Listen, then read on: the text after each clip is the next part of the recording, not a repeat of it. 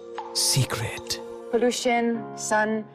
styling से मेरे बाल घास जैसे दिखने लगे जो भी ट्राई किया फिर से घास फिर मुझे मिला पैंटीन नो घास नो डैमेज ओनली हैप्पी है थैंक यू पैंटीन